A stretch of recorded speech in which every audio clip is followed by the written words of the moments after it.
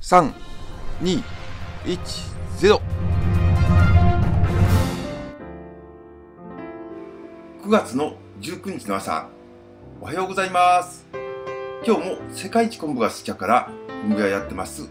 店長の松下幸一郎が皆様の料理の味を劇的に美味しくできるお手伝いができるように頑張ってます。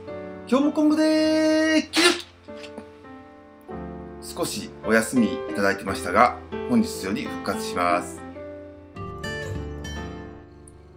卵スープに目ひび。卵スープに目ひびを入れてよーくなじましたけ。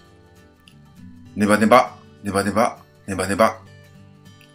ネバネバパワーでとっても美味しくなります。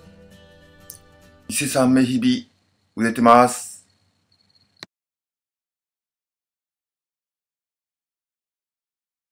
院長まっちゃん、乗ってくると、神が降りてきたが口癖。しょっちゅう神っておりもんやな。